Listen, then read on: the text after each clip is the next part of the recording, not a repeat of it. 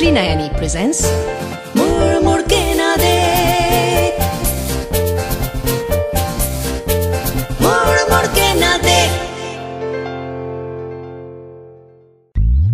Quick time fuel filling, perfect e billing, free air filling, windshield wiping. At Club HP, we have different services that ensure your stopover is as smooth as your journey.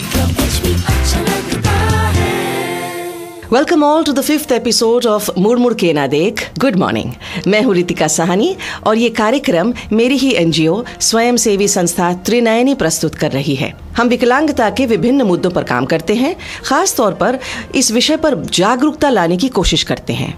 आज हम बात करेंगे शिक्षा पर right to education पर। Inclusive education के अलग अलग पहलुओं पर चर्चा आज होगी हमारे चार स्पीकर्स के साथ। उसके पहले ये बताना ज़रूरी है कि मुड़मुड़ के ना देख का ये कार्यक्रम हिंदुस्तान के 17 ऑल इंडिया रेडियो स्टेशन पर एच के मदद से पहुँचाया जा रहा है। एचपीसीएल के एक सी एस आर इनिशिएटिव के बारे में सुनिए। एचपीसीएल ने ट्रांसपोर्ट कॉरपोरेशन ऑफ़ इंडिया के साथ मिलकर एच आई से संबंधित शिक्षा जागृति और जानकारी एक्सपर्ट्स के माध्यम से ट्रक ड्राइवर्स को दी है। साथ ही कॉन्डोम एवं जनरल मेडिसिन भी डिस्ट्रीब्यूट किए। खुशी क्लिनिक की स्थापना से 2012-13 में लगभग तेरह हज़ार ड्राइवरों ने इस योजना का लाभ उठाया। आज के प्रोग्राम में हम राइट टू एजुकेशन और इंक्लूसिव एजुकेशन की चर्चा करेंगे।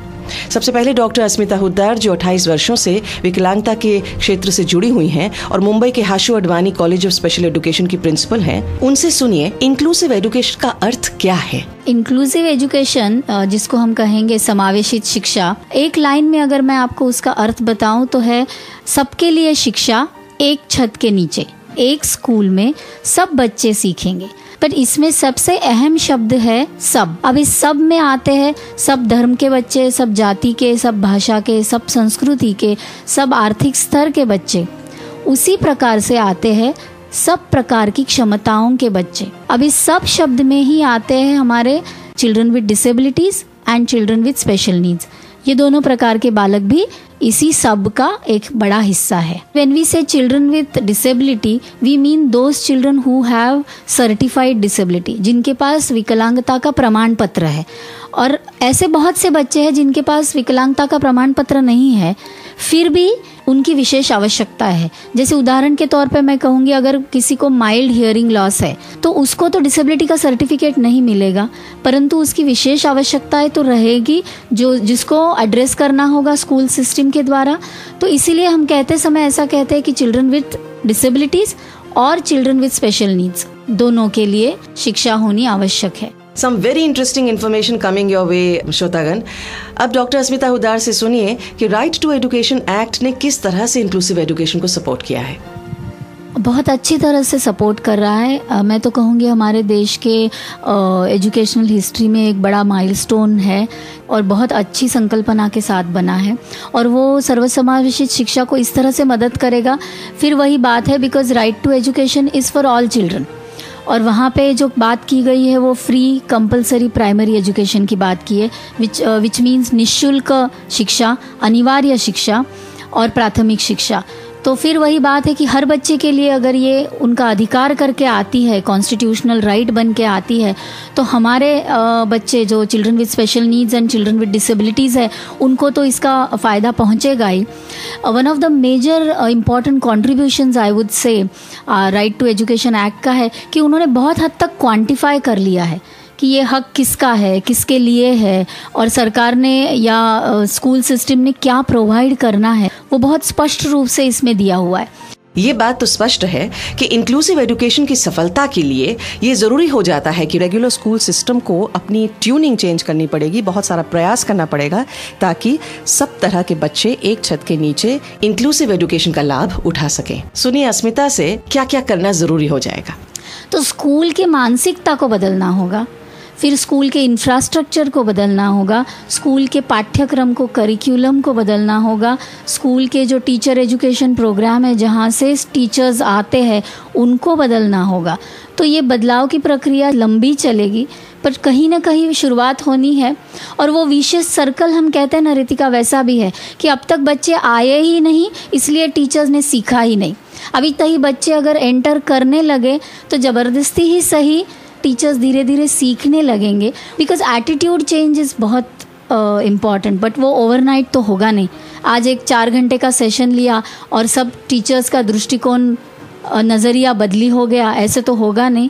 सो so, ये प्रक्रिया लंबी चलेगी और जैसे मैंने कहा government level non government organisation parents families schools special educators ये सबने मिलके इस दिशा में हमें प्रयास करना होगा।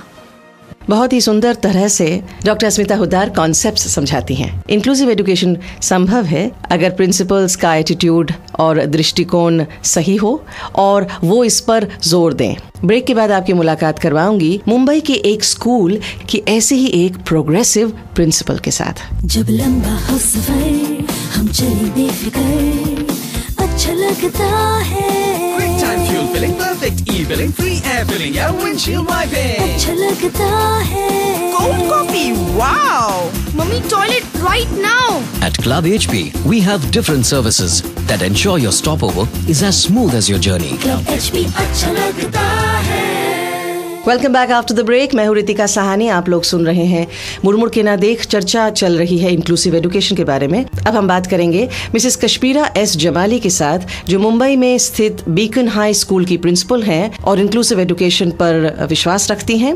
विकलांग बच्चों को भी शिक्षा का अधिकार है, सब बच्चों के साथ उस पर बिलीव करती हैं। और आज हमें बताएँगी कि इंक्लूसिव एजुकेशन के तहत उनके स्कूल में विकलांग बच्चों को वो किस तरह का सपोर्ट देती हैं। हेलो रितिका हम बच्चों को उम्र के हिसाब से क्लास में एडमिशन देते हैं। उसके बाद एक panel of train special educators बच्चे की काबिलियत को जांचता है। एंड फॉर एवरी चाइल्ड हम एक इंडिविजुअल एजुकेशन प्लान बनाते हैं। वैसे तो बच्चा दिन भर अपनी क्लास में ही रहता है, लेकिन every day for one hour बच्चा रेमीडियल रूम में जाता है, जहाँ एक स्पेशल एजुकेटर उसके साथ वन ऑन वन काम करती है। रितिका आई मस्ट मेंशन यह कि एकेडमिक के साथ साथ इन बच्चों को बिहेवियर मॉडिफिकेशन की भी ज़रूरत पड़ सकती है। इसके अलावा जिन बच्चों को लर्निंग डिसेबिलिटी है, उन्हें कंसेशन की तौर पर हम ज़्यादा वक्त देते हैं। सेकेंड लैंग्वेज यानी हिंदी वो नहीं पढ़ते हैं और ये बच्चे जो अक्सर स्पेलिंग मिस्टेक्स करते हैं, हम उससे ओवरलुक करते हैं। तो मिसेस जमाली, आपके स्कूल में किस तरह के डिसेबिलिटीज के बच्चों को आपने एडमिशन दिया है? तेरह साल से ये स्कूल चल रहा है रितिका और हर तरह के डिसेबल्ड बच्चे को हमने एडमिशन दिए हुए हैं। इसमें से लर्निंग डिसेबिलिटी तो है ही है। इसके अलावा जिन बच्चों को autism Down syndrome hearing impairment और हमारे पास एक विजुअली इम्पेयर्ड बच्चा भी है जो अब पांचवी कक्षा में पढ़ रहा है। I am sure Mrs Jamali you have to motivate your regular school teachers वो किस तरह से मैनेज करते हैं? रितिका ये ज़रूरी हो जाता है कि इन टीचर्स को सेंसिटाइज करें। आपने खुद आके हमारे टीचर्स और बच्चों के साथ सेशंस लिए हुए हैं। ये टीम वर्क है। Class teacher parent special educator और प्रिंसिपल की हैसियत से मैं, हम सब हर दो महीने मीटिंग करते हैं to evaluate the performance of every disabled child in the school Mrs Jamali uh, आपने बहुत बार ये मेंटेन किया है कि इंक्लूसिव एजुकेशन को अगर रियलिटी बनाना है तो इंक्लूसिव सपोर्ट हर तरह से मिलना ज़रूरी है। और शैडो टीचर्स की आप बात करती हैं हमें बताइए ये शैडो टीचर्स कौन हैं और इनकी क्या रिस्पॉन्सिबिलिटीज़ होती हैं एक स्कूल में? रितिका हम सब जानते हैं कि इंक्लूजन ज़रूरी है लेकिन रियलिटी ये है कि किसी भी रेगुलर क्लास में 40 से 50 बच्चे होते हैं फ़िलहाल हमारे स्कूल में मैक्सिमम 28 बच्चे हैं। फिर भी for that particular disabled child in the class हमें एक्स्ट्रा मदद की ज़रूरत पड़ती है।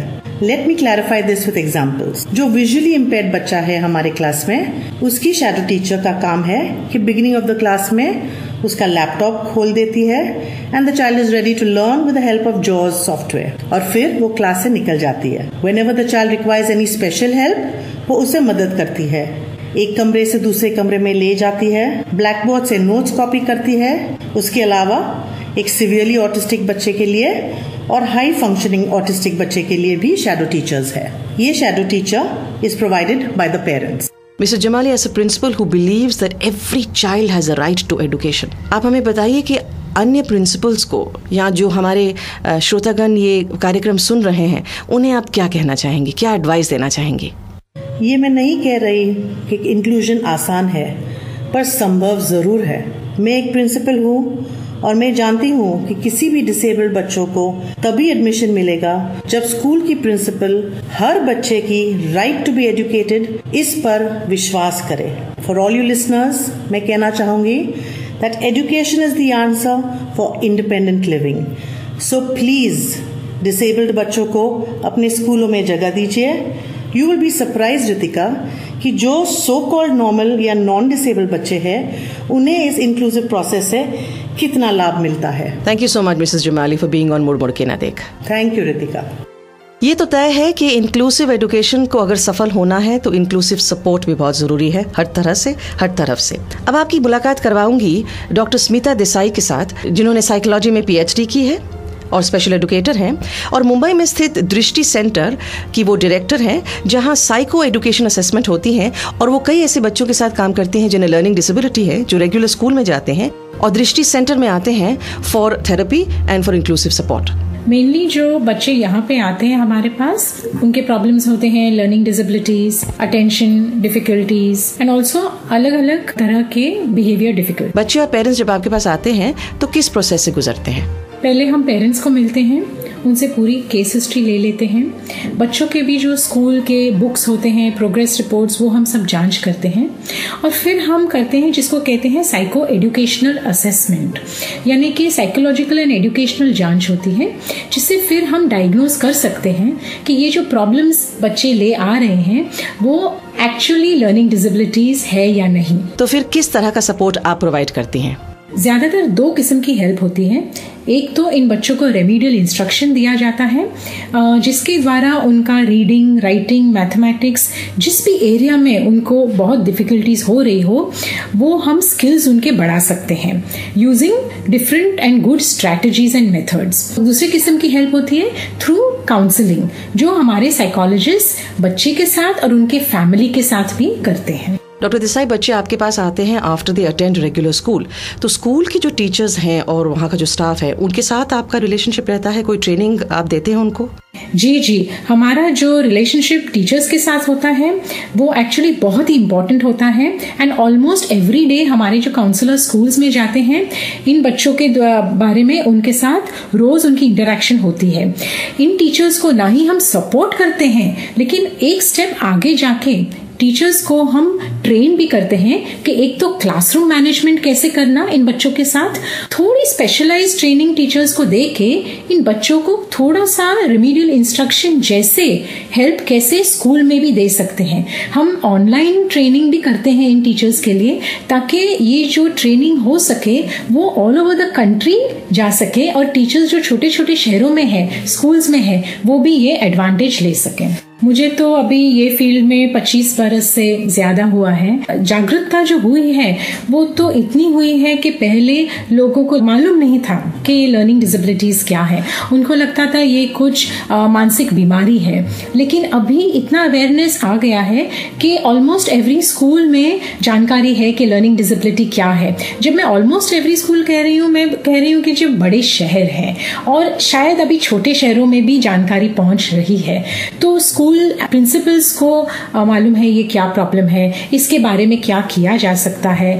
पेरेंट्स में भी हम अवेयरनेस ला रहे हैं। तो ये सब जो ग्रोथ हुई है because of this recognition of this problem बढ़ गया है and that is why more children are being identified ऐसे नहीं कि प्रॉब्लम बढ़ गया है। हाँ लेकिन ये जो आइडेंटिफिकेशन है recognition of the problem and because of this almost जो सब स्कूल के बोर्ड्स हैं आपके ये state level boards ICSC CBSE सब स्कूल के बोर्ड्स में इन बच्चों के लिए हेल्प और कंसेशंस अब दिए जाते हैं। Common question that people have in the mind तो वो आपसे पूछना चाहूँगी कि अगर मुझको लर्निंग डिसेबिलिटी है तो do I live with it all my life ये जो लर्निंग डिसेबिलिटी है उसके लिए कुछ क्योर नहीं है। जो भी हम हेल्प देते हैं we give it to manage the problem बच्चे जब छोटे होते हैं, जो डिफिकल्टीज दिखाई देते हैं, अगर पेरेंट्स और टीचर्स उसको रिकोगनाइज करें और आके, आगे जाके जो बच्चों को एजुकेशनल पाथ या वोकेशन लेना है, ये सब माइंड में रख के उनका चॉइस करें तो फिर there is no obstacle